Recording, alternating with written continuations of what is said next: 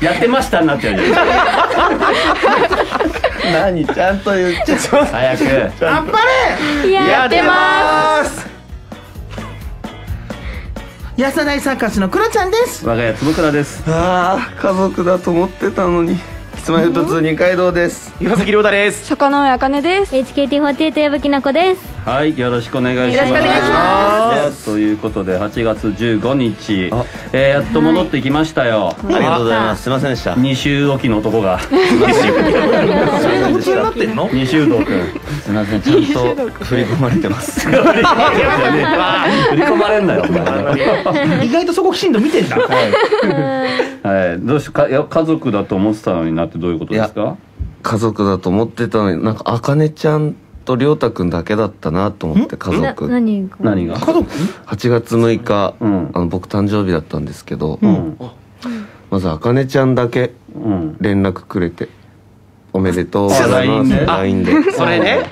あえ？嬉しいあかねちゃんちゃんと覚えててくれてるんだって思ってて。うん。はいでまありょうたくんに関しては、うん。今日入ってきて誕生日プレゼントを送れて、あうん。さすがだなと思って、うん。坪倉さんに話したら、うん。いつだっけみたいな顔してて。いやいやそんなことない。覚えてたよ俺は。でなんかクロちゃんに関しては、あれりょうたくんと一緒にりょうたくん一緒に買いに行ったの？クロちゃんと。は？何それ？どどういうことですか？共同で。ちょっとね共同で。あのいいっていうのが言いたい,、から、うん。だからあの亮太君なら亮太君からでいいよみたいな感じで言ったんだけど。違う違う違う違う。俺が俺が今今日あの楽屋入ってこの袋見見たクロちゃんが「あれ？それもしかして高志の?」って言い出して「あ忘れてたしん」っつって。うん。あ。って言ってましでたさっきりょうたくん今日別部屋でしょ？はい。でりょうたくん渡して別部屋に戻った時に、うん。はいクロちゃんがあのよゆうたくんと一緒に買ったシーンみたいな言い方してた、うわやばちょっと。いや買ったし。いやいや。勝ってないよ。勝ってないよ。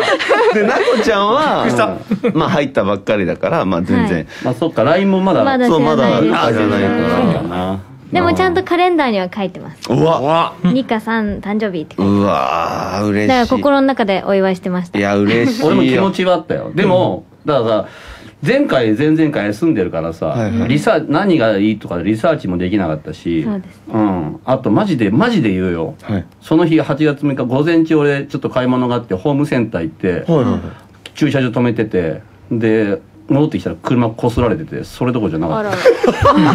いやいやそれマジだから。それマジだからりょうたくんじゃないの？トークは仕事車ぶつけねえよ。トークはぶつけるってなんトークだよぶつけるの全部って言うんだでもさっきあの二階堂さんからこれ欲しいなっておねだりされてたから買うもの見つかってよかったですね。いやだってもういや嬉しい。いいけどなんかなんか一個リクエストボソッとリクエストして、うん、トイレ行きやがって。リクエスあーまあちょっと見つけたら。トお期待していいですか、うん。めっちゃいいやつです。いやめっちゃいいやつとかやめてよ。なあ。めっちゃいいやお前はさ録音で金入るけどさ録音でなくなんないと入ってこねえんだよ。つ いやいやすいませんでした。いやもっと俺はもう話したかったのよ。ナイスフライトの話。ナイスフライト？面白いね。いい演技するね。いいねさすがそ玉んでさその話しようと思ってたらもうこの間さ、次のドラマの主演も決まってるわけでし日ょテレ祈りのカルテ。日テレはいいですよね宣伝してね。毎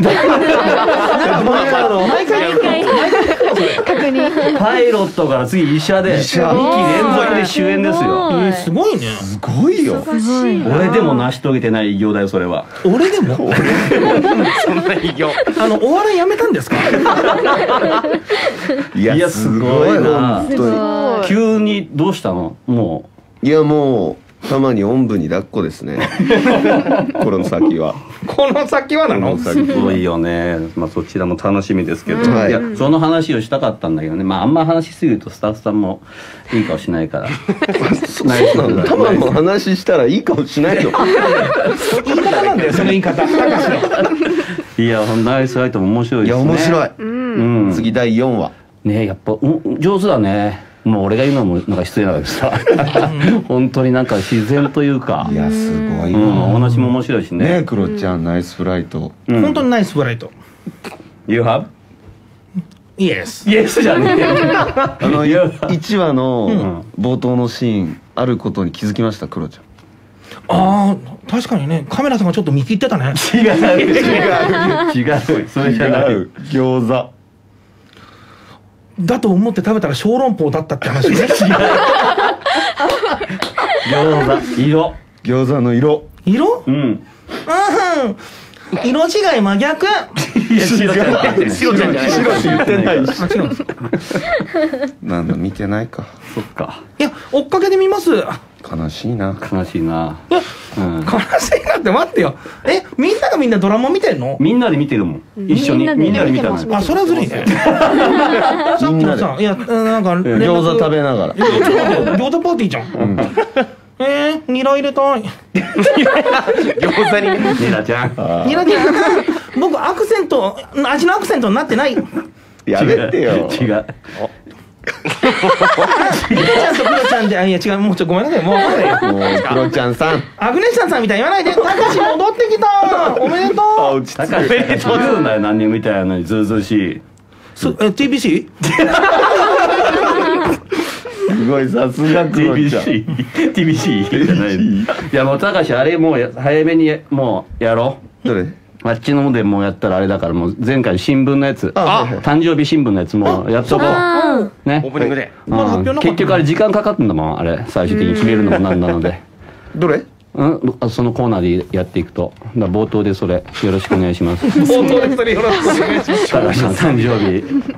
俺はん。1990年、うん。平成2年8月6日、はい。月曜日、うん。えっとね。何があった？広島45回目のっうん。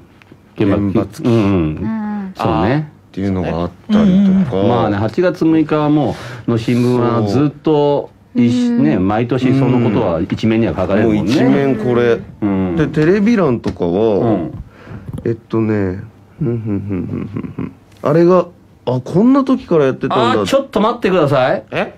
スタッフさ何ですか？読売新聞買ってます。おい。読売新聞でしょ？おい毎日 新聞でしょ？読売新聞でしょ？お前おんぶに抱っこだな本当に店が言ってんのお前がも。う読売新聞でしょ？違います。えみんな何新聞？毎日新聞。うわみんなやったね。ったねみんながやってるわ言ったしいや言ったねいた時にだって言ってるもんね言いましたよ読売新聞でしょ祈りのカルテでしょ MBS ラジオ早いのよ早いのよ 間違えちゃいました。ごめんなさい。間違えちゃしたじゃないの。ごめんなさい。世界丸見えテレビ。お。おー。もうやってるもうやってうん。たあと志村けんの「大丈夫だ」大丈夫だ。やってた。まあもちろん「笑っていいとも。はいはい。ジャニーズの先輩たちが出てるのある？笑っていいともも出てますよね。あそう。か中井さんとかうん。香取さんも出てますし。思いっきりテレビって何でしたっけ？思いっきりテレビ？思いっきりミノさん。うん。ミノさんじゃない？はい生電話思いっきり生電話とかして。お嬢さん。これ見ておない。嬢お嬢さんだっけ？お嬢さん奥さんか。奥さん。お嬢さん。お嬢さん。いやいやちょっと。いやだからお嬢さんに電話してください。平日の昼間に。学校休んだんですか？学校行かないとダメですよ 知ってるなこちゃんミノモンタさん。ミノモンタさんは知ってます。思いっきりテレビは知らないか。はい。あれこの中で前もやらなかったっけ？えー生電話。生電話。生電話知らない。はい。ああそっか。おそ松くんもやってる。おー松くん。うんまあ、なんか読んでここチェックしてあこの話題喋ろうみたいなの何にも考えてないだろもちろん。もちろん。出たとこ勝負なの？今そうじゃないね。今とさっき取ってきて調べてんだろう。もちろん。なな もちろん。違う違う忘自分を試してんの。よ試してじゃないね。どれだけ瞬発的に喋れるか。いやいや。0点です。0点です。しかも成功した時に言うからねそれ。うるさいクロちあなんでちょっとん。小獣みたいだった？あれやってる？大岡越前やってる？あ午後4午後4時再放送。TBS 16時ぐらい。ゃん16時。うん。何曜日だった？生まれたの？月曜日です。うん。お。あ一緒だ。私も月曜日だったかな。あ違うか。い違うか。ややってない。あれ？え？え？嘘。嘘え？そこだけやってないの？越前さん。越前さんじゃ水戸黄門。水戸黄門？え？あれ？ああれ？水戸えやってないよね。あ仲間外れみんなだってやってましたよね。やってましたよね。やってました。え TBS 系列ですっけ？水戸黄門だ、え？わあ。わスクールウォーズやってる再放送。スクールウォーズ。うーんドラマ？あ大川知恵はあの8時にあゴールデンでやってますね。あああ、再放送じゃないってこと？うん。再放送？こっちは再放送。8時の再放送じゃない、へへええなるほどねうん。あよ黙読してるよ。はいはい。ちょっと探して俺もちょっとぶつけでいけるかどうか。いやいや違う違う。楽しん。でるこれ高橋からのバトンタッチじゃないんだから。ぶっつけでいけるか。いけるか。壺くださいけるか。いうわーすごい。お元も元うちの事務所の先輩の吉田栄作さんがね、えー、9時のドラマに主演で出てますね。あ。うん、その時は何ですかドラマ、ね。うん、気持ちいい恋したい知らないな。ないな。うん。俺も見てなかったわ。さあ曲いきましょうか。最後何も出てこなかったじゃん。テイストで。あんまなかったんだよやらなかったねじゃないのよ。まあまあ8月6日はね特別な日なんでね、まあそっち側にね寄ることが多いんでね。ね。はい。じゃあ曲いきましょうか。はい。ここで一曲聴いてください。Kiss-My-Foot2 で新曲2 as 1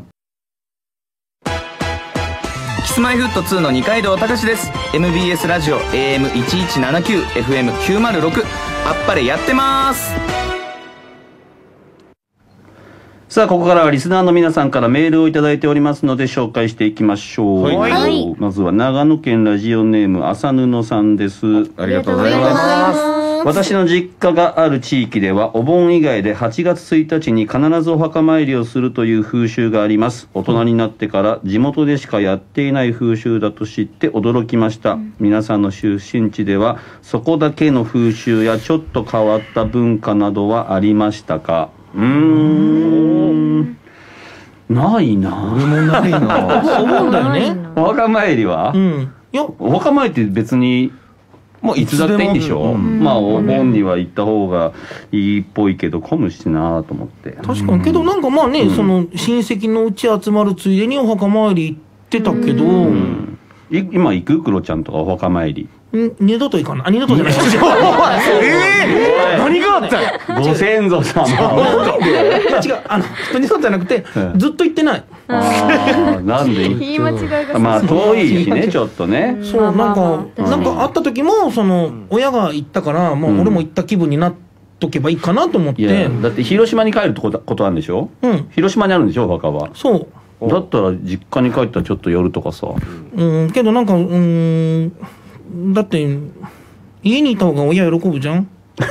いやだからご先祖様に挨拶というかそういうことでしょ。実家にはもう帰ってないですか？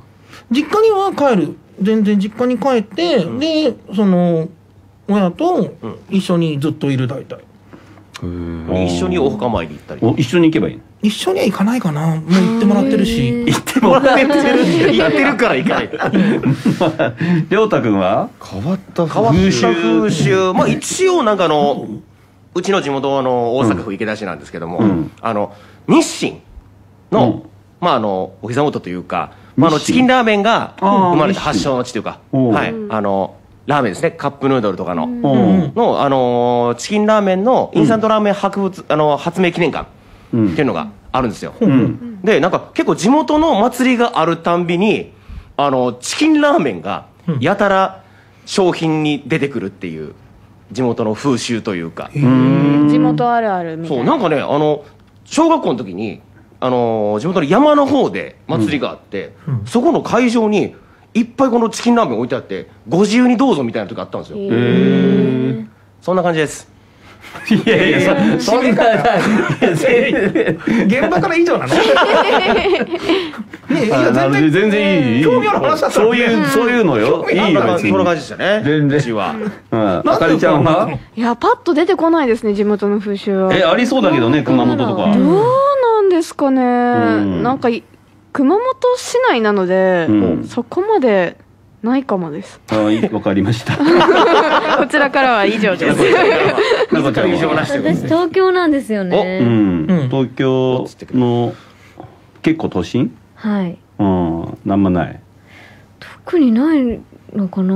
変変わった風習って難しくない難しい、うん二階堂君はないわかりましたよ続いてのメール俺もない。ない。みんなでもずっと考えてたんだけどさ。考えてたけどクロちゃんのお墓の話しさせといて考えてたんだけどさ。結構長長尺でなんか責められたからね その間に。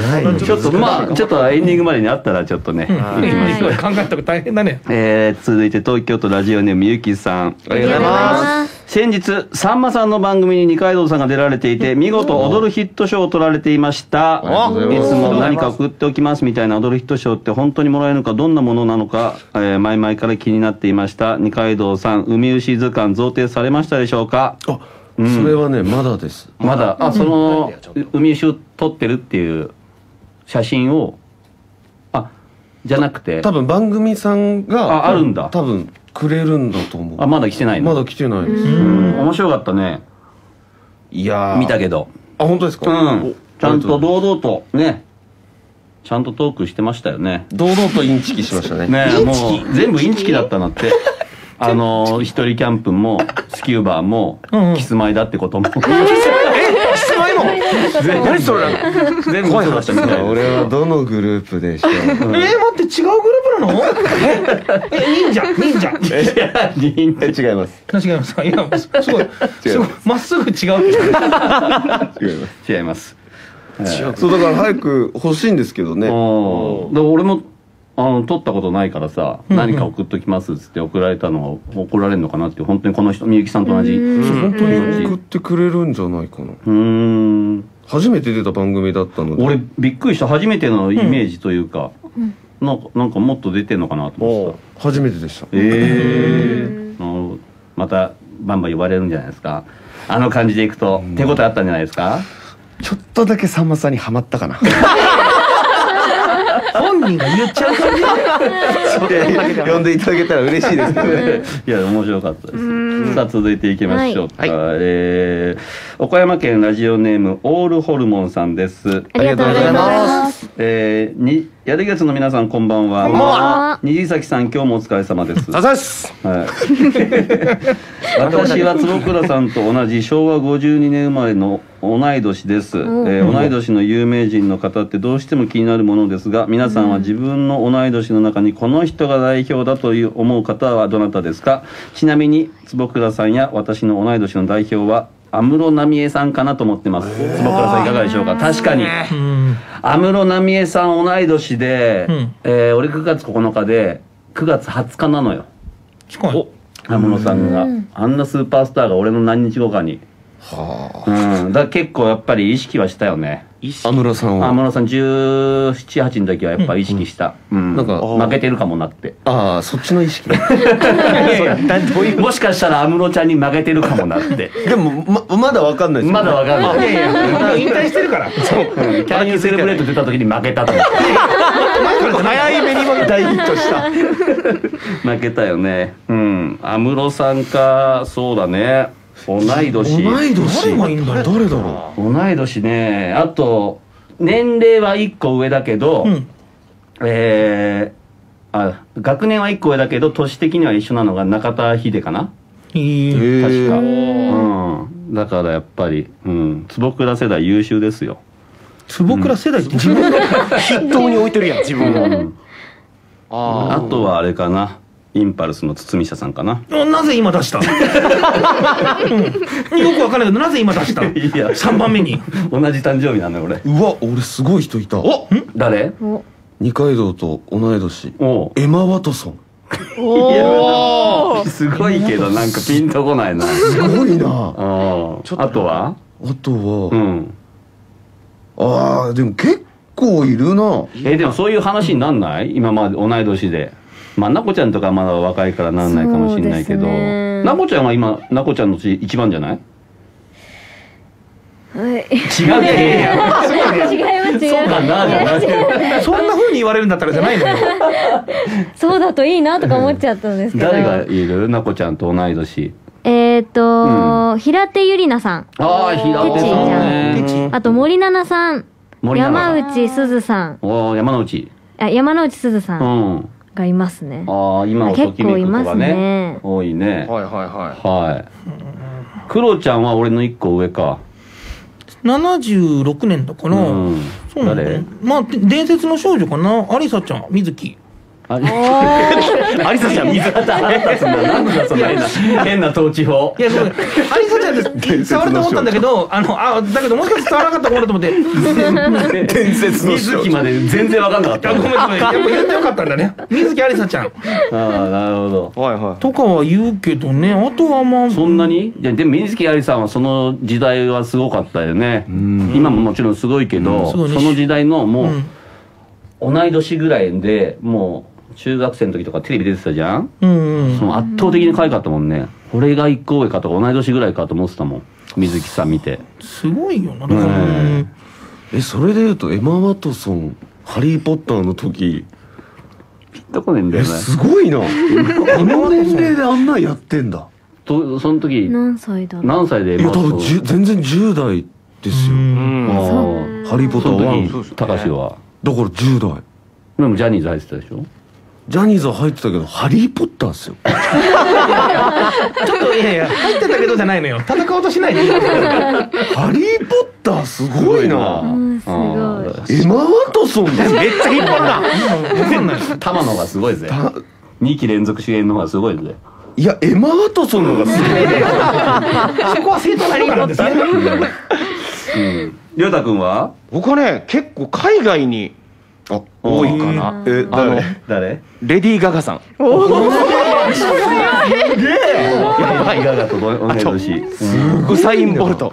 えボルト？ウサイン・ボルト。うん。とえっとですね国内で言うとえー誰だとね。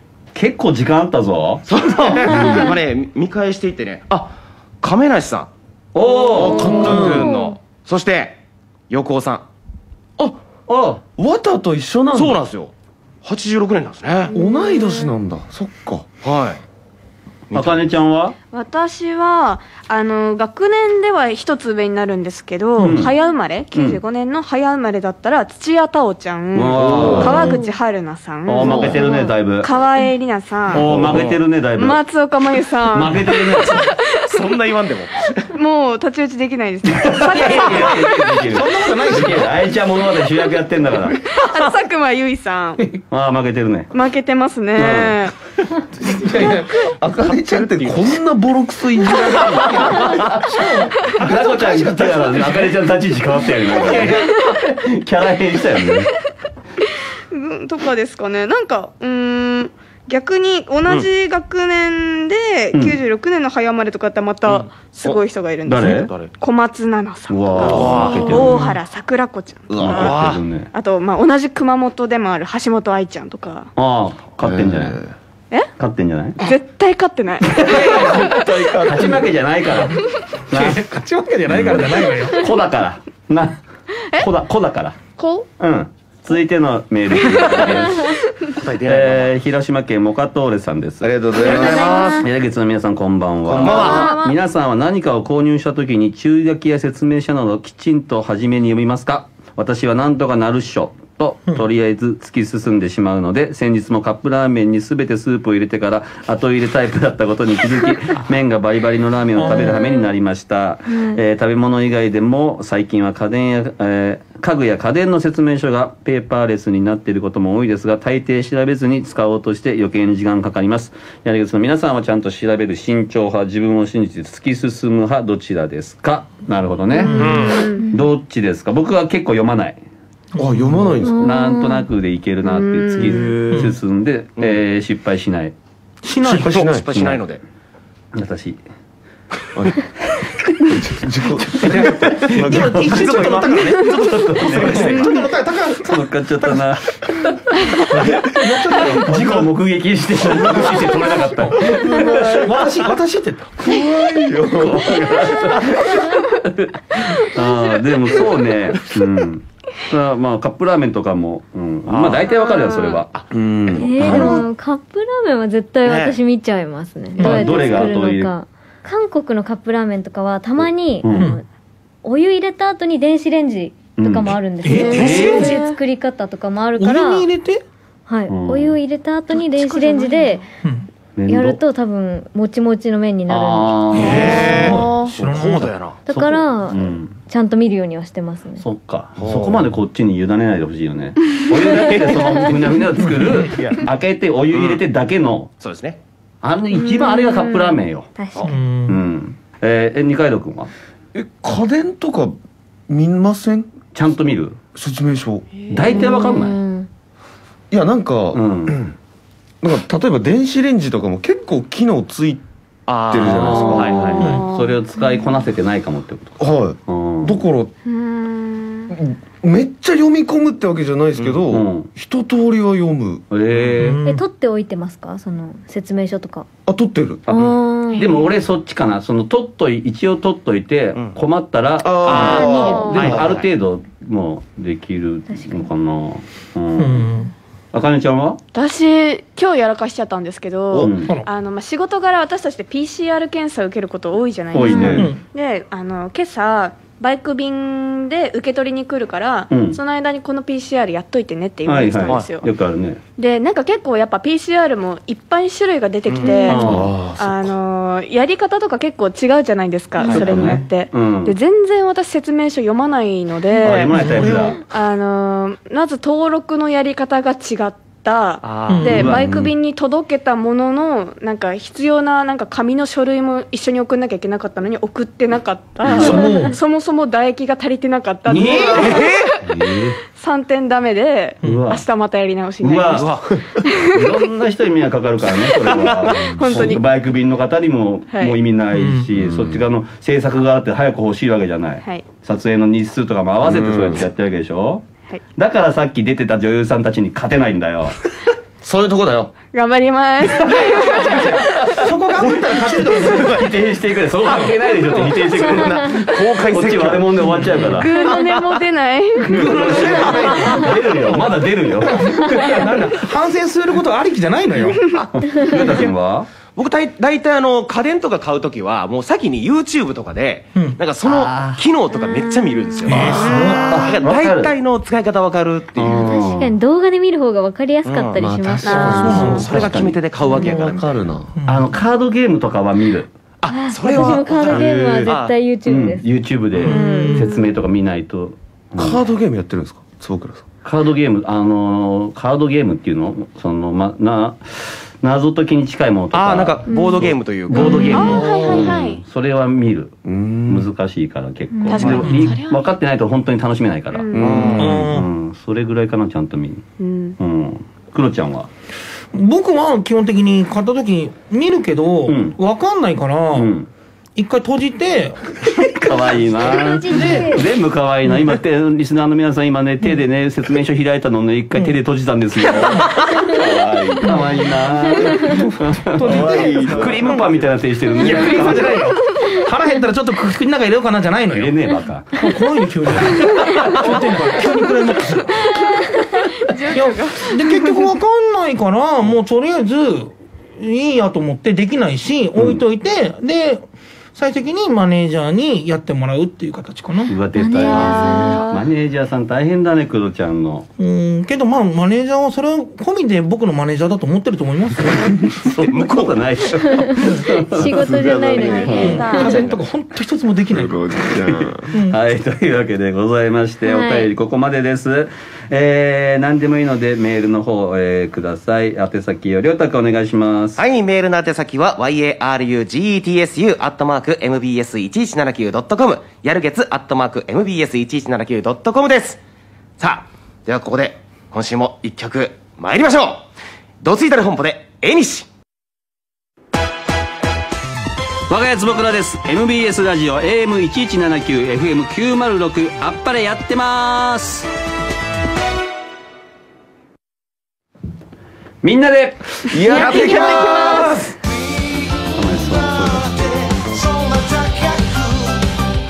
さあこのコーナーはやる月6人が初めてやることを全員でやってきて感想を言い合うコーナーでございます。はい、前回は生まれた日の誕生日新聞取ってくるんで、はい。えーやりましたけども。え聞いてた？もちろん絶妙な掛け合いでしたね。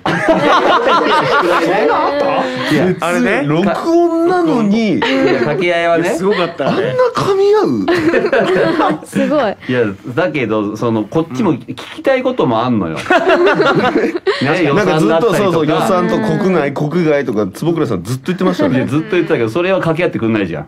それだって録音だもん。そんでなん。か録音だもん。ね今回はそのね、はい。二階堂君が勝手に決めた、えー独裁者提案の国内で、えー架空旅行プランツアーを考えてくるという 出たもう考えてきた？考えてきたけど。でもましたちょこっと言ったじゃん。なんかさ行ったことないとこねとか。はいはいはい。多少はいいでしょ。多少は言ってても。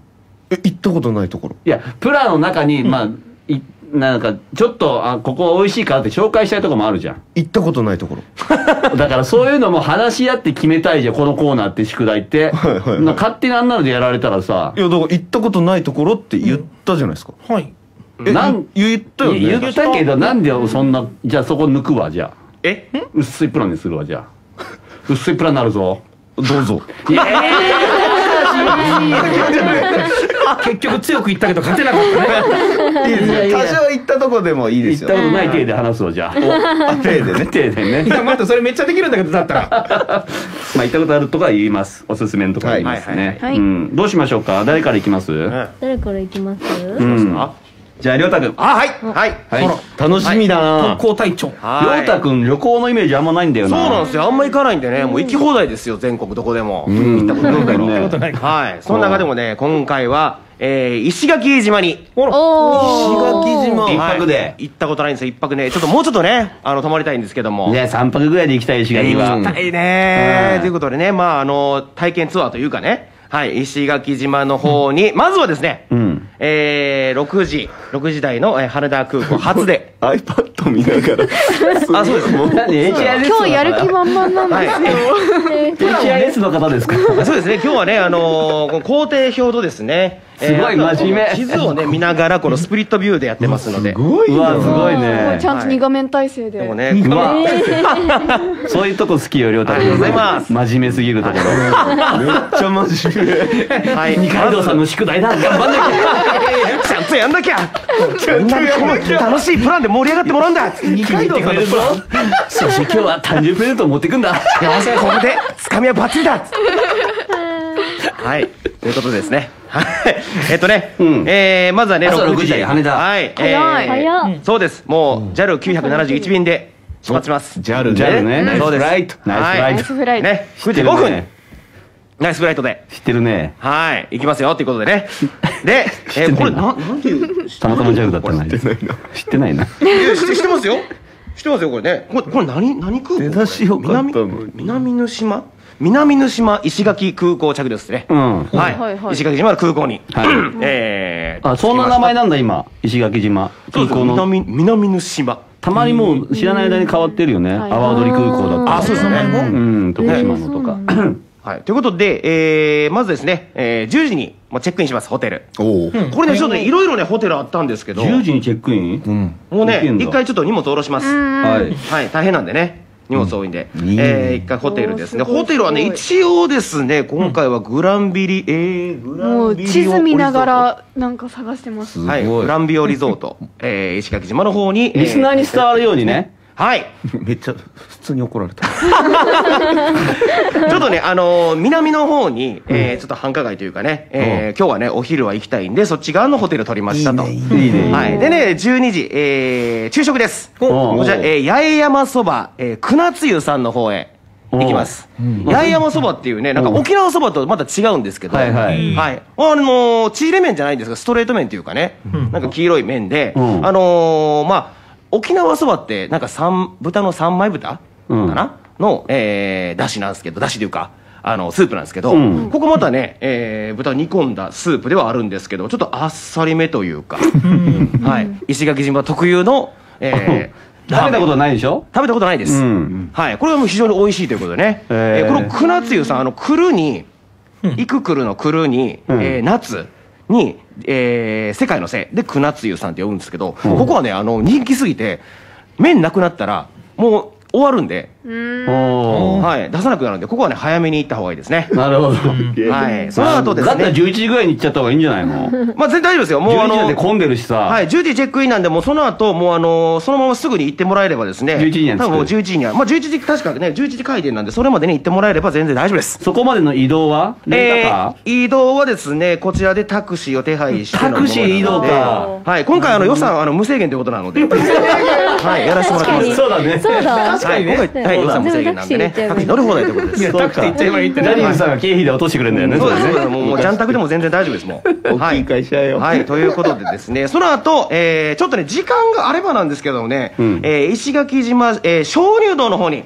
でねちょっとあの、夏暑いんで、鍾乳洞はね、結構ね、鍾乳洞、はい、あの、ひんやりしてるんですよ。いいね。はい。ひんやりして鍾乳洞を見つつ、その後、このですね、なんかそこなんか写真スポットとかあります？あ、ありますよ。映えスポット？はい。洞窟、洞窟的な？のはない？いこちらはですね、んえー、鍾乳洞の中、いろいろね、ある、あるんですよ。慌てて検索してるやばいやばいもうバタパタパタパはい。タまたね、これまたあの、追のってまた、あのー、送りますんで、この方は。指と口動いてるけど全然伝わってこないんだよね。で、その後、はい、えー、石垣島のですね、北の方、えー、北、北西の方行きまして、んはい、こちらですね。結構移動しますねはい、だいぶ移動。でもね、石垣島小さいんで、結構すぐ行けるんですよ。30そうですね分。はい、30分くらいで行けます。あそうなんですね、はいはい、ここはですね、えー、カビラ湾っていう、カビラ湾あの、カビラ湾。カビラ湾うんはい、あのー海です。おー。海に行きます、ここはですね、このゆこの石垣島の中でも有数な、うん。はい、あのースポットでございまして、もう、カビラブルーって言われるぐらいうん、青色が綺麗なね、海なんですよ。へー。いいそこをね、な船で遊覧しつつ、この船からこの、えー海の中見たりとか。いいね。楽しそう、とかして遊んだりとかね。ん。あとね、その反対側に、あの、スクジビーチっていう、おうあの、すごい遠浅の海があるんですよ。ああ、いいね。そこもね、あの、お子さんとかいらっしゃったらね、あの、子供でもなんか全然一緒に遊べる浅いからね。みたいなね、遊びちと。ちなみにカビラマンはそのなんかはい。シュノーケリングとかスキューバダイビングとかできますか、うんこれね、今回、スキューバーとかは2日目に回してるんですけど、ここも全然ね、あの、別に。ありがとうございます。すいません。2日目に回してるんですちょっと焦っちゃって。ちょっと邪魔しちゃいました。すいません。スキューバやりたくてしょうがないんでちょっと感じながらも、あの、次の日に持っていくということでございますす。いません。ありがとうございます。カビラマン調べたらすっごい綺麗ですす。ごいですよ。結構ね、船もすげえはい本当にはい、そちらでね、すごい見ていただいて。はい、ということです。で、夜はですね、はいえー、こちらは石垣牛をああ、いい。食べようかなんでテンション上がってんね。行きたくなっちゃう、はい、またあの、いいよ、いいよ。ホテル近辺のお店でね、えーうん石垣牛を食べて、その後食べた後は石垣島星空パークで星空を満喫するという。星空もすごいね、空綺麗で、空気澄んでるんでね。全す然ね。一日にすごい詰められて詰められてる。すごいです。疲れちゃう、もう寝ちゃうよ。はい、でも寝ます今日は。お寝る。はい、そして2日あ目。よかったよかった。はい、そして2日目ですね。えー8時ホテル初です。あ結構。早い結い。はい、麗だな、はい、ホテル、えーホテル8時に着いてて、えー、ホテルを8時に出まして、うん。で、えー、今日はですね、もうほぼ半日ぐらいですね、ずっともうスキーバーダイビングします。まあね。ありがとうございます。やんないだろ、二階堂。はい、これね、あの、ウミガメとかもね、ウミガメとか、あとマンタ。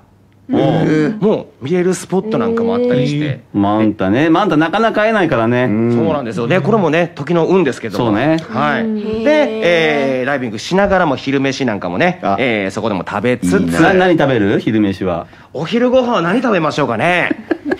もね、あそこ入ってないですか？ツアーに。はい、これはもうあのーこっち2日目ですね。はいえーまた別のパックのものになってますんで。あ、別パックはい、別パックですので、パックのですね、えー、と、ご当地の、えー、海のもの、また、えーうんまたね、えー、石垣牛のハンバーグ等かな。ああいいですね もらえればと思います。石垣牛うんはい。そしてですね、まあいろいろ楽しんだ後、また、えー、お昼過ぎ、えー、3時頃にホテル帰ってきまして、でその後ね、えー、ハウトゥリージェラートっていうですね、めっちゃ調べてきてる。めちゃくちゃちゃんとはしてるす。い。ごい。これあの、沖縄、沖縄じゃない、石垣島のはい。有名なね、あのジェラートなんですけども、パうん。ッションフルーツとかをなんかふんだんに使った、すごい甘味がありますんで、それも食べつつ、まあその後、まあ、えー、お土産買ったりしながら、うん。えー、19時に、えー、空港空港に、あ空港か。はいもう帰るか。で、帰ります。もう一泊楽しかった。そして羽田着は22時とああ。結構じゃあ遅いですギチギチななっておりますぎっちりいくね。チリのツアーでございます。完璧もう僕が思いもう描いたお旅行？感じ。このリスナーの方も本当想像して旅行行った気分で聞いてほしい でまあ今だったらね検索しながらねうん。すぐはい。なこちゃんみたいに出てくるしねそうですねさっきのカビラビね。ービーチ。これね、一泊二日だけではちょっとね、回りきれないんですけどね。確かに。もっと行きたいねそう時代だったらねはい結構所要時間短くならないですか？そうですね。そうなんね。もうちょっとのんびりっていうのがうねん。うん。大体どれくらい何泊がおすすめですか？大体まあ3泊ぐらいはしていただいた方が。さっき言っただろ俺 そうですね。続いてありがとうございます。はい。い。やいや、りょうたくん素晴らしいですけど、はい。細かかったね、本当に。すごいはい。細かったね。素晴らしいプランナーさんでした。素晴らしい。素晴らしいけどこれあれですよね。順位決めるんですよね。そうね。うんちょっとねあの尺が長いですりょうたくんすみません。そうね。あと、えー6人回りますから。はい。はい時間のこと考えてください。はい。小学校のことしか俺覚えてないんだけど。続いてあかねちゃん行きましょう。はい行きます。ではい。私はあの札幌に行こうと思います。いいね。あ札幌ね。行ったことないんです。え何ですか？俺最初札幌考えてたの。え行ったことないんですか？札幌ライブである。あれ？うん。あれ？そうだからやめたの。あ、だからやめたの。いやそんな県はいいでしょ。都道府県は行ったことあったって。はいダメダメダメ。ダメ。じゃあどこも行けないよ。全部行ったよ。いや、都道府県行ったでしょ。早くあかねちゃん。の聞こうよ今はい日えちょっと、逆行きますよ。はい。まず羽田から新千歳、えー8時20分発90ん9時55分着のやつ。JAL の。じゃあ、あ、JAL で行こうと思います、ナイスフライト。うん。はい、ナイスフライト。ナイスフライト。で新千歳から札幌に到着するのが大体11時頃なるほどにななります。でまあやっぱりこう荷物あるのも嫌なのでホテルにまず荷物を預けに行きます。ホテルもまあちょっと予算ないけどもちょっとコスパのいいホテルをちょっとインスタのえー方でうちが出しますけどね。ほら。えいいんですか？皆さん無制限ですかいいんですか？でもまあ一応ちょっと自分の身の丈に合わせてあのそこまで高くないけどおしゃれなホテルをちょっとインスタで調べて選びました。おはい。でえっ、と12時頃あの今ちょうどやってて多分17日ぐらいまでやってるんですけど今月の。はい。あの札幌大通ビアガーデン。あ、ビアガーデン。12時から行こうと思います。うわいいね。毎年やってるらしいんですよ。えー。楽しそう。この時期の北海道のビアガーでいいね。いやいいですよね。でうん。私もう北海道に行ったら札幌クラシックを飲んでみたいんですよ。ああール？のね。あのー札幌のその北海道限定のビールで、うん。あの缶とかで時々あの北海道フェアとかやってたらコンビニとかスーパーとかでも売ってるんですけどその生ビールを飲みたいんですよ、うん。私は。まずそれなんです私が札幌に行きたい理由は、はい。ななので札幌大通ビアガーデンに、まあ、昼から札幌クラシックを飲む。で、うん。飲み歩きながらこう札幌からちょっとすすきの方面大通駅からすすきの方面へ行きます、はいでこうちょっと飲み歩きしながらちょっと隣で飲んでるおっちゃんとかお姉ちゃんとか、うん。その辺のなんか地元なのかは分かんないけどいろんな人と喋りながらね。えこの辺で美味しいお店とか知ってますか?」とかいろいろ聞き込みをしよようと思っています。かってきたかかってきた。であのーそういう感じで18時ぐらいから、まあ、夜ご飯をうん。食べようかなと思いまます、早めで。で、あのー食べログ？私、食べログのプレミアム会員なんですけどお、北海道、まあ、札幌って検索してランキングで見たら一番に出てくるジンギスカンうん。のお店、だるまってお店なんですけど、ちょっとここ行ってみたいなと思って、うん。そこに行こうかなと思います。はい。まあだから私は基本観光っていうよりかは食い倒れ。食い倒れ。いいね。ななんか旅行プランで、うん。いいじゃんまあだからちょっとお腹いっぱいの時はなんかゲーセンとか行ったり しようかなと思います。中学生じゃん。なんかやっぱ食べ過ぎるのもあれかなと思って。うんでもまあ締めはやっぱり味噌ラーメン。こああ北海道でね。こもなんか聞き込みとかで美味しいなんかララーメン屋さんありますか？とか聞いてそこに行こうかなって思って。うん。移動手段は？そっちの北海道行ってからの。結構その札幌大通りすすきのってマップで見たら一直線なんですよ。うん。なのであんまり歩いてうん。その大通りビアガーデンやってるのもあるのでなるほど。あんまり交通機関とかも使わずにこうのらりくらりしながら、うん。なんかテレビ塔だとか思いながら観光もしつつ楽しめればいいかなと思ってます、はい。でもう初日はとりあえず食べて飲んで終わりです、うん。で翌日えっと8時半から9時ぐらいにまあ起きて、うんで前日がやっぱあのお酒とか飲んでるからあんまり長湯できないじゃないですか。どんだけ飲む気だよ。たしなむ程度にしとけよ。いややっぱ飲まないと、うん。であのそこのインスタで調べたところが温泉とサウナがその部屋の中にあるお宿だったみたいなんで、うん。朝風呂をします素晴らしい。うん。10時から、でちょっとゆっくり12時ぐらいにチェックアウトして、うん。で私純喫茶が好きなのでお純喫茶札幌ってまた食べログで調べたところサエラっていう大通駅にある喫茶店がありまして、そこのちょっとモーニング、まあ、ランチなのか時間的に、タラバガニエビカツのサンドっていうのがあるんですよ。ええそうだね。超美味しそうじゃないですか。ちょっとこれをいただきつつ あの楽しそうだな。ニヤニヤしちゃってるじゃんもう。いただきつつ、うん。ちょっと待ったりして、で、まあ、14時半ぐらいに、まあ、札幌を出て、まあ、前後でお土産買ったりうん。して、まあ、次の日もあるので、16時初の新千歳空港で、うん。まあ、JAL 便に乗って、うん。えー羽田に戻ります。うん。戻るのが17時35分。いか？がですか？素晴らしい。俺が思い描いてた通り。いやいやいや。これテンプレかな。るほど。いや今のところのどっちも満足ってことね。ーどっちも満足。おーやったすごい。来たね。素晴らしい。やったーうん、いや僕もねそれをなんとなく沖縄とか、やっぱ海とか好きなんでそっち考えたんですけど、一泊二日になると、うん。やっぱその時間がないんで、まあ次坪倉さん行きますもう行きます、おはい。もうそのまま僕はねあの東京からも程近い、えー神奈川県の方に行きます。おーまずははい。箱根に行きます、うん。車で行きます僕は、はい車で。車で、えー箱根の方に行ってまず、えー10時ぐらいに出発して、ほ昼前には着く予定です、はい。はい。はい、そしてまず九頭龍神社に行きます、うんはい、箱根箱根神社と九頭龍神社なんですけど、はい。結構いいところがあって、あのー箱根の芦ノ湖の中に鳥居がある方がのちっちゃい方のなんですけどそっちが本宮みたいなところがあってそこに行ってまず、えー今回の旅が、えーいい旅になりますようにという、はいはい。えーうん。いいですね、うん。とご挨拶をしていえーそして、えー12時ぐらいに、えーちょっと宿近くの、うん。えー箱根湯本の近くに、うんうん。ここは行ったことあるところなんですけど、はいはいはい。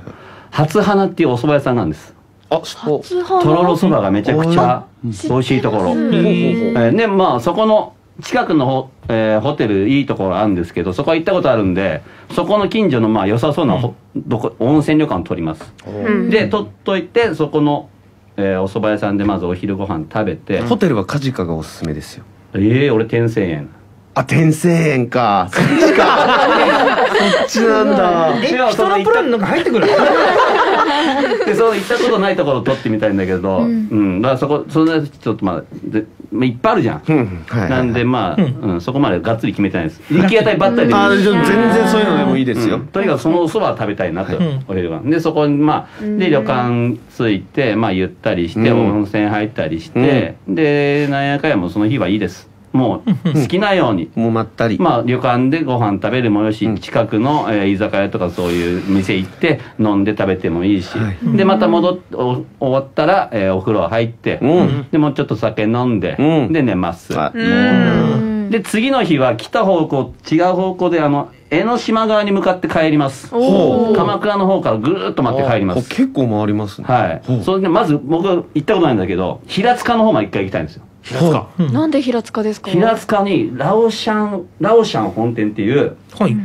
タンメンのめちゃくちゃ有名な店があるんですよ、酸っぱいタンメン。酸っぱ辛いタンメンっていうの。へえそれが昔から食べたくてでも平塚行くことないから。うーん確かそこを寄って次に、えー大磯の方を通ってきます。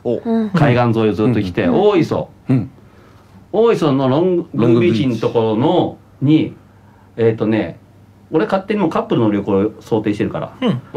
水着で入れるプールスパサウナみたいなのが男女で入れる。はいはいはい。そこに行きたいのよ。ほそこのサウナがいいって言ってて。ん。で、まあ、プール入りたかったら入ってもいいし、ん。でサウナ行ってもいいしっていうそこを、まあ、ご飯食べてからそこ行って、ううん。でそこでまあ結構遊んで、まあ、夕方3時ぐらいまででもいいかなもうサウナなんかあっという間に経っちゃうから、うんうんでまあそっから戻りながら鎌倉行って、うん。鎌倉でちょっと車止めて、はい。えー、と小町通りっていうねあの歩食べ歩きができるとこあるんですけども、うん。とかいろいろ小物が売ってたり、そこを歩いてちょっと散歩しながら、ん。えー鎌倉の方のねは鎌倉八幡宮もね、うん。行って、え大河ドラマありがとうございましたっていう、おおー。それで、えー戻りながら横浜の方戻って夜飯うん。中華街で食べて、はい。うん帰ってきます。最高。結構移動しますね。確かに。でももう、うん、運転でまあずっとそれでちょうどいいぐらいだと。一泊だと。いやいいな。まうん。たちょっとゆったりゆったりですね。ゆったり旅行だ。うん。近場で。はい。めちゃくちゃいい。はい。よかった。3人とも今のところちょっと。ということでこれが意外に、えー長くなりまして、はい。えー今週はここまでです今週はここまで？はい。この旅行。え俺が提案したのに一周目できないの？全部で見えたって言っただけだよね。ちょちょっと長すぎた。思いのほか盛り上がっそうだ、えーまだ夏は終わらないんで。あそうですね。はい。えあこれちょっとね時間があのーそっうんはい。なかなかみんなちゃんと考えてきたんで、うんいやでも素晴らしい。う んえー次週ということですか？次週もうまさかの？うん。だから多分次週暴露ちゃんなしですね。えなんでだって2週に1回はやるって約束じゃないの？えー。ということで、えーじゃあその次のやつは決めるってことですよね？あ。決めるのも来週。あうん。あじゃあもうあのーみんなで当てましょうだっけ？なんだっけ？みんなでやってきます。やってまあやってま違う違う違う当てるぴやつ。ったりさあぴったりさぴったりさやらないやらないいいねあれつまんないもんね。まだ言うな。いね部合わない長し合わないし。じゃあそれも、えー次週、えーこの続きはやります。はい。も、おーすごい。うん、だから宿題猶予が1週間しかないってこと。いやいや猶予がないっていうかもうこれから肉付けはしないよ正直。肉ついてるじゃない。ねついてないこれは贅肉じゃない。筋肉。ほらシロちゃん。腹黒くない夢がいっぱい詰まってる。ずうずうしいな。涼しい全然違うじゃん。涼しいの方涼しいの方だよ涼しい。なはいというわけでございまして、えー以上今週はここまでということでございまして。お盛り上がりますね。はい。盛り上がったな。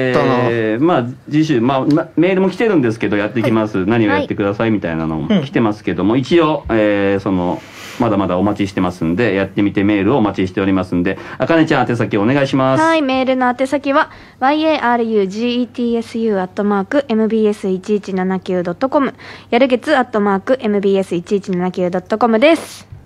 はい以上みんなでやってきますのコーナーでしたそれではここで一曲聴いてください。HKT48 で B さんはなぜなくなるのか。岩崎亮太です。MBS ラジオ AM1179 FM906 あっぱれやってます!暴露ちゃんのタレコミするシーンのコーナー!えー、あんの？あるシーンよさあこのコーナーなんですけど、はい。やる月レギュラー陣の過去の行動や発言を暴露ちゃんメールとしてリスナーに送ってもらうコーナーです。んや？うん、コーダーウって言ってね。行動のことコーダーウって言って言ってないし。ねネイティブな発音あーまあなんで確かにそっち側かもしれないですね。ネイティブじゃあ行きますよ。はい。来てますので。はい。ラジオネーム長野県の奈々さん。誰だ？ありがとうございます。ありがとうございます。はい。こんばんはいつも楽しく聞いています。誰？私は2歳の娘がおりまして、はい。アイスクリーンというアニメが大好きです、はい。アイスクリーンは緩やかなビジュアルのキャラがアイスクリームタウンに住んでるほのぼの系のアニメです、うん。先日声優さんの欄をふと見ると岩崎亮太さんのお名前が。えほのぼの系に出てるの、うん。そうです。え？ママンゴ岩崎さんなの？男性の声聞こえたことない気がすると思って戻して見直したらそれが岩崎さんだと分かりませんでした。おう。うーん。うん、それでも分からなかったと。うんで、はいはい声優さんって本当幅広い役に対応できる高い技術をお持ちなんだなと、改めて岩崎さんの凄さを実感しました。シーズン2も楽しみに見ていきますという。ああ何の暴露だよ。弱っ。何それ？逆暴露みたいななんか。うんいやいやこれいいじゃないですか。女の子の声と思ったのに亮太くんだったってことなんでしょすごいってことそうでしょだからほとんどあのキャストさんがもうみんな女性ばっかりで。うん。えで女の子の声じゃないんでしょ？りょうたくん。女の子の声じゃないです。でしょ？はい。クロちゃん間違ってんじえ間違ってるっていうかまあ別に俺はこれは 何が暴露なの？それ。まあ普段の声とは違うってことですよね。だから男の子の声男の人の声が聞こえないから岩崎さんだとは気づかないっていうところから普段の子の声じゃない。ろんなキャラクターの声ができるんだなってことじゃないですか？なんだすごいってことでしょ。うん。うん。そうです。恥ずかしくもなんともない。しえそういうコーナーなの？暴露ちゃんの。ねそんなえりょうたくん今ダメージ食らった？いやまあうん全然食らってないです。嬉しいね。嬉しいですね、うん。まあそういうコーナーがあってもいいんじゃないですかね。その別に送ってくれた方はいいよ。奈々ちゃんね。全然。全然いい、なんでそれ選んだもっとさみんな怖いなとかさ。そう。そういうコーナーにしたいんじゃない怖いなって思わせておいて裏切りでこういうのも一枚あったらどうなんですかって話よ。裏切り最初から出しちゃダメじゃん。聞かないじゃん。あ。であの一応これね今シーズン2も楽しみに見ていきますってコメントで終わってましたけど、うん本当はその続きありました。お何？おなんだ？え？おいやめてよクロちゃん、なニカちゃん大好きですおい何最後のちょっと待って暴露だなこれは喜ばしておいて何の暴露や実はニカちゃんが好きだっちゃいけな俺ちゃうかったんかそうだしえー、なんかもっとヒヤヒヤハラハラ。そうよ。なんかちょっと。ありますよ大あります？あります？うん。ある？投資系の。ある？そうですね。あこれはちょっと。押しけダメだ。これはちょっと厳しいかなあどうした？えー、言っちゃいますよ。なんかある？あります。えー怖い。埼玉市ラジオネームたっくんさん。ありがとうございま。す。ギャルゲツの皆さんこんばんは。こんばんは。私はキスマイの男性ファンで、なこちゃんのファンなので二人の暴露をしたいと思います。お。二階堂くんは以前キスマイの生放送ラジオでトイレからの電話出演したことがあります。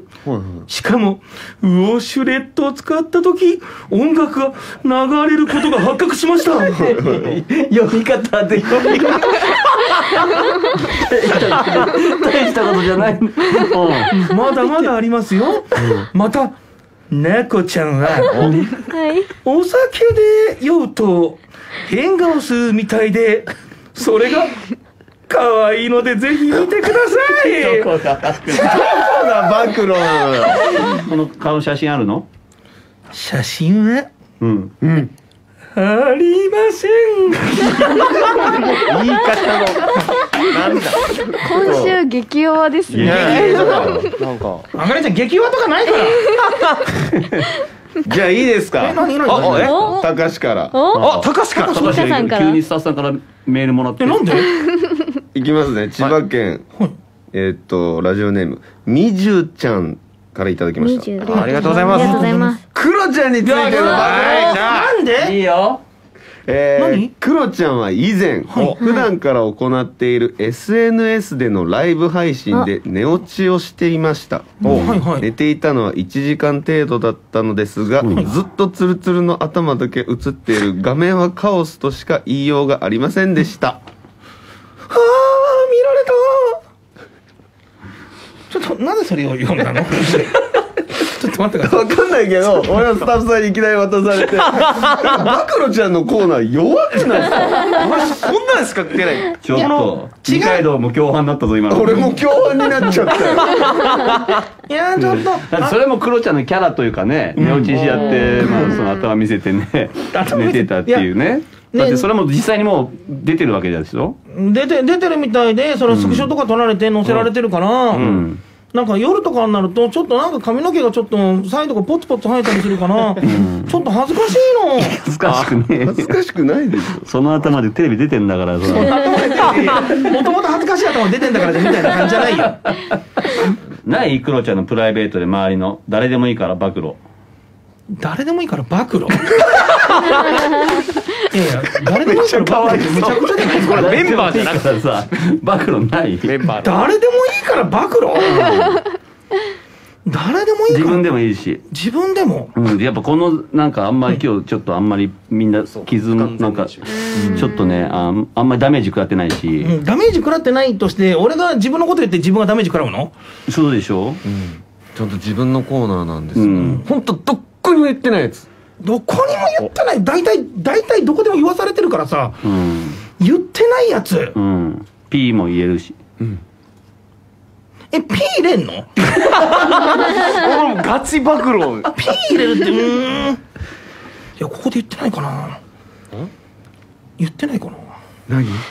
別人で、別人の人でもいい。だ誰でもいいんだよ。人だあんま人と会わないからさ。うん。だイニシャルで言ってくれてもいいし。あ伏せてね、うん。伏せてうん。えっ、と あるんかい。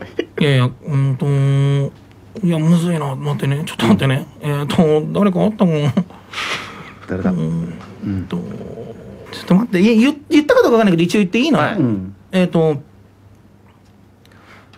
にえっ、とか監視カメラついてるけどそれをあ、部屋に？クロちゃんの？うん。部屋についてるのを、ん本当についてんの？って聞かれるから、うん。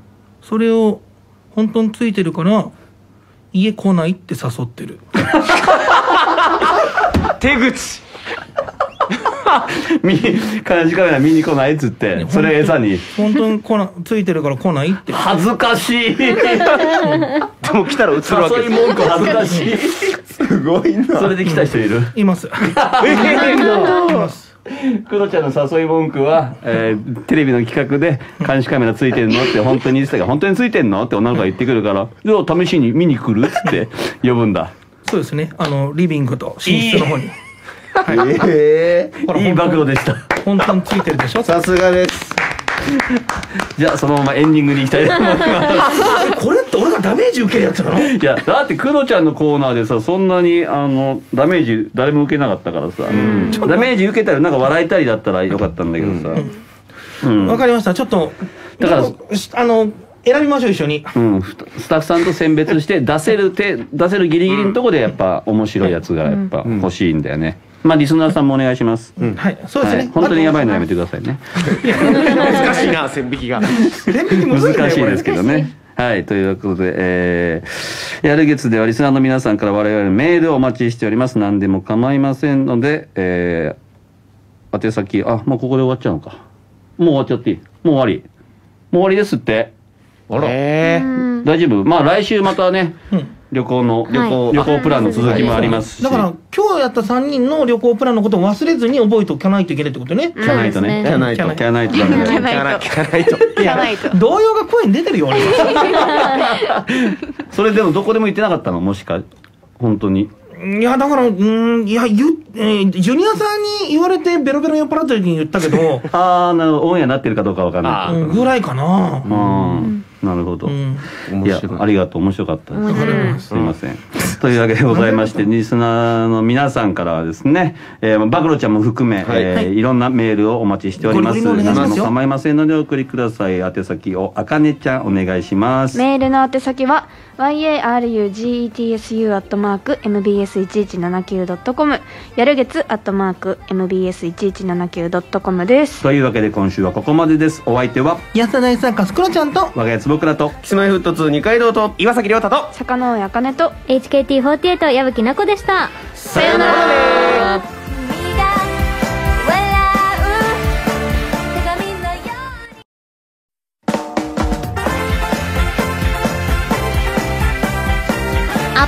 っぱれいなみ1名様やってます。あっぱれ月曜の皆さんお疲れ様でした。こんばんは稲見アンジュです。さあ8月15日月曜日でございます。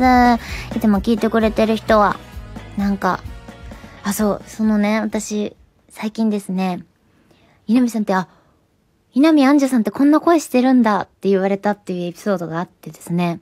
あのー、ヘブンバーンズレッドという、まあ、よくね、あの、こちらの関西の番組ですからね、あっぱれもね、それでお話しさせてもらってますけれども、あのー関西弁のキャラを実は今やっていて、ヘブ版の相川めぐみ役をやってるんですけれども、もっといかつい声をしていて、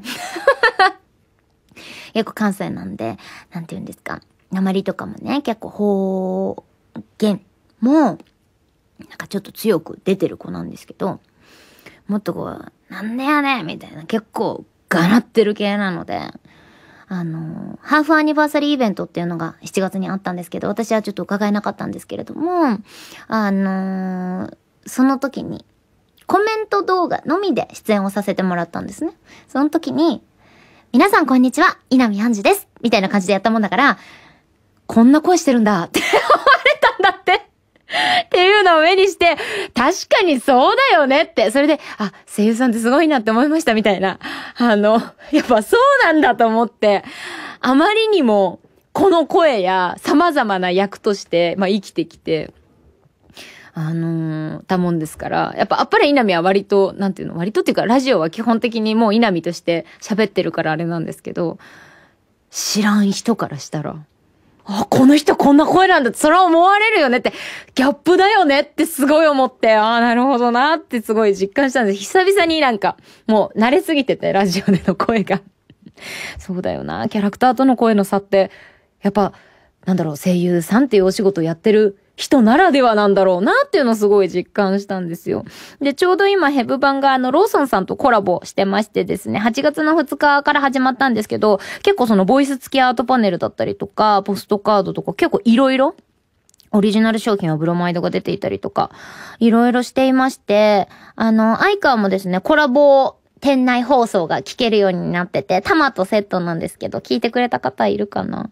なんか、結構こう、アイカーはさっきも言ったんですけど、ガナル系っていうか、大きい声で突っ込む系のキャラなので、店内で大きい声で突っ込んでる放送流れるの、すごい不安だったんです。なんか、うわ、なんかすごい、すごいなんか、テンション高い。しかもなんかちょっと怒ってる？みたいな。突っ込んでる？みたいな。あれになってたら、あれ、来たお客さんびっくりしないかな？動揺しないかな？とかって思ってたんですけど。いや、受け入れてもらえてたらいいなっていうふうに思ってて。で、なんかこう、二人の会話が聞けたりとかをするっていうキャンペーンやってて、これがオリジナルキャラクターボイスが視聴できる期間が8月31日までになってるので、もしもうね、いろいろ堪能してくれた方は、ここもおきのお聞き逃しなく楽しんでもらえたらなと思います。ヘブ版のラジオだったりとか、あとイベントとかも生放送とかもそうなんだけど、毎回出たいと思うんだけど、本当にタイミングなかなか会えなくて、次は必ずって毎回思いながら、アイカーのグッズを持ち歩き、仕事してます。欲しくなっちゃうんだよね。なんか、ヘブ版グッズすごい。まあ、あのー、ゆうげんさんのイラストがやっぱすごい好きっていうのもあって、つい持ちたくなるんですよね。欲しくなっちゃう。集めたくなっちゃう。彼女たちの絵がやっぱたまんないんで、これからもね、たくさん応援してもらって、7月の29日からは第4章も解禁になっているはずで遊べるはずですから、皆さんもね、あの、ほんと4章は、アイカーの人生が大きく動くようなストーリーとなってると思うので、ぜひ感想、そして楽しんでもらえたら嬉しいなと思っております。よろしくお願いします。さあ、今ラジオを聞きの方、ツイッターでハッシュタグ、カタカナであっぱれ数字で173でツイートお願いします。あっぱれなみの公式ツイッターのリツイート、フォローもお願いします。あっぱれいなみ、1名様やってます。メールは173アットマーク mbs1179.com まで皆さんからのお便りお待ちしております。今夜はこのコーナー。稲見杏樹のじね、え、え、え、え、稲見杏樹のえ自分新年表 おい、エコーかかってる時に噛むなよ。恥ずかしいじゃん。まあね、このコーナーはですね、私、稲見が一年一年を細かく振り返って、年表を作り上げるコーナーでございます。ね13年、14年と来まして、今回は2015年の稲見さんでございますよ。ということで、えー、稲見19歳、ラスト10代の年のお仕事。やだーラスト10代とかもうすっごいはるか昔って感じ。26だから本当にびっくりしちゃう自分で。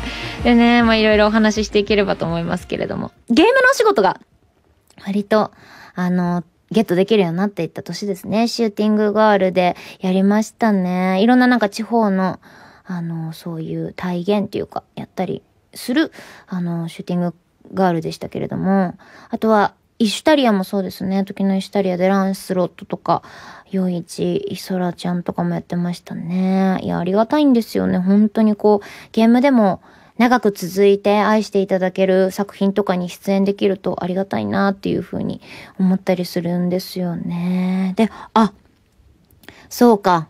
外画の吹き替え初挑戦でしたね。ピッチパーフェクトという、ベッカ主演のアナ・ケンドレックさん演じるベッカ役の吹き替え初めてやりましたね。これは、ツタヤ限定で割とやってたものだったと思うんですけど、吹き替えの。初めてだったんで、右も左もわかんなかった。ほんと専門学校でやった授業ぶりのアフレコだったので、その、外画吹き替えっていうのは、なんかね、うーん、すごい緊張したし、私でいいんだろうかっていう、そのいつものマイナス思考なのが出てた収録だったなっていうのは思いますね。本当難しいんですよ。今でも難しいと思うんですけど、やっぱり片耳で原音を聞きながら、あの、か片耳を外して、自分の声をちゃんとバックしたり、お一人お一人の他の方のお芝居聞きながら、台本に目をやって、ブレスのタイミング合わせて、とかやるので、やっぱその、なんて言うんですか。アメリカでの言葉と日本での言葉の大きな差っていうのはブレスのタイミングだなっていうのを個人的にめちゃくちゃ思っていて、ブレスのタイミングを本当に合わせるのが、未だに本当に難しいなって、シビアだなってすごい思うぐらいの、なんかブレスだったりお芝居感なので、でもやっぱやってて楽しいですよね。うん、原音を聞いているので、どういうストーリーでどういうテンポ感でお芝居なさってるかっていうのは本当に俳優さん次第で全然変わるので、難しさもありつつ、やりがいも楽しさもあるものだなっていうのは常に感じますね、やっぱり。で、それこそこれのきっかけになったのが、あれだったんですよね。舞台版の、えっ、と、2015年7月29から8月の2日、ちょうどこれぐらいの時期だったんだ。定休という作品ですね。知ってる方も多いと思いますけれども、これの舞台版に先輩と巡り合う時間たちというタイムリープものの台本でしたんで、これ大変だったな。押本より役で出演させていただきまして、まあ、あと初めての主演舞台ということになりますね。あの、まあ、女の子たち4人を軸にした物語だったんですけど、未だに 割とみんな仲良くて。それこそ知ってる人だと、高橋咲ちゃんとか、あと倉持瀬奈っていうやつらとはすげえ仲良くて、未だになんかこう連絡取り合ったり、出かけたりとかするぐらいの仲なんですけど、これほんと大変で、アニメを知っている方はわかると思うんですけど、押本ゆりって本編内で唯一のツッコミキャラで、他みんなボケなんですね。で、タイムリープものの台本だったので、えっと、同じ時間を繰り返すんですよ。で、なんだってなって、ブラックアウトして、また同じ日の朝に戻って、え？どうなってるんだっていうのを、えっと、本編中6回ぐらい繰り返す。で、起きてることが6回とも違う。で、最後、これを戻すためにっていうつながりになるんですけど、本当に大変で、やっぱり同じセリフなんだけど、起きる人、起きること、出会う人が違うので、全部それがボケっていう、出てくる人みんなボケっていうので全部一人で突っ込んでて、楽しかったんですけど、やりがいもすごかったんですけど、カロリーはエグかったと思いますね。今もう絶対できない再演は無理だね、これは。本当に大変だった。でもあの頃はめちゃくちゃ楽しんでやってたんで、でもね、ほんと楽しかった。みんな、女性がほぼだったんですけど、ほんと仲良くて、みんな、あの、素敵な役者さんだったんで、ほんとね、楽しかったなと思います。で、実はこれをきっかけにピッチパーフェクトの外画の吹き替えが、のお話があって、ちょうどその、顔合わせの時に入ってた方が、これの制作に関わってらっしゃって、あの、読み合わせの時に、私のお芝居聞いて、あの、ピッチパーフェクトの吹き替えを、のお仕事を振ってくれたらしくって、そうそうそう、どういうつながり？と思いながら、キャラ全然違うけど、と思いながらやったんですけど、そういう、私結構ね、顔合わせの、顔合わせっていろんな人がいるんだけど、いっぱい来るの。偉い人が。とか、大元の人とか、あのー人がたくさん来るの。スタッフィングの方たちがね。